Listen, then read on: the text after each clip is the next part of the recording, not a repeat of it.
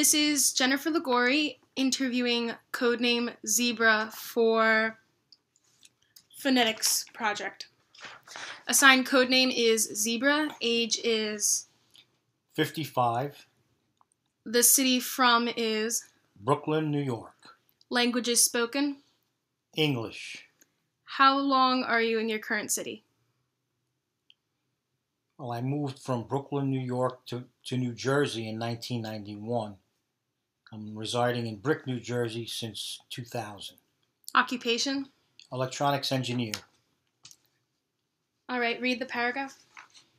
Limpy. Limpy is a fuzzy yellow baby duck. He belongs to a fisherman. The fisherman lives in a little house by the bay. Every morning, children go swimming in the bay. About 10 o'clock, Limpy waddles out to the road to wait for the children. When he hears them coming, he begins a loud, exciting quacking. The children always bring bread or corn for Limpy. He will nip at their fingers or peck at their bare toes until he is fed. Limpy never follows the children down to the shore. He likes to swim in his own little pond. It is much safer. All right, now I have some questions. Yeah. How well do you think you fit in your social and professional worlds? Rate from 1 to 10. I feel I fit in rather well, somewhere between an 8 and a 10. All right. What kinds of things did you start doing to fit in if you felt you didn't fit in? What about now?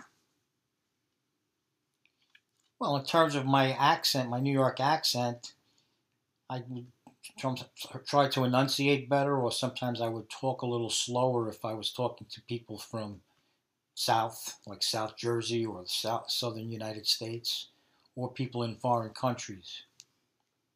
Do you think you have an accent? How would you describe your accent? I would think I have a, a New York accent, but not a heavy one. I compared to people I grew up with. After living in New Jersey since 1981, I think I've lost some of my accent, but some people would disagree. Does it bother you if someone asks where you are from after first hearing you speak? It does in a way because sometimes I feel they're being judgmental and right away you sound different and they're pointing out a difference. You know, I mean, it's it's almost it's it's like a almost racist in a way because uh, I know they want to make fun of the way I talk. It's the first thing they say is, "Well, you're from New York, aren't you?" And you know, to me, the people from other regions they sound funny too. But I, I just realized that we're all different, and regional accents are just something that occurs naturally. Can you remember when you first noticed you sounded different? What were your struggles around it then and now? I didn't really notice growing up in Brooklyn, and I, I was working in New Jersey in 1981. I began working in New Jersey, and it really wasn't until then that I, you know, would would hear stuff from my colleagues about how I, you know, my accent, and I would make fun of their accents, and we would go back and forth.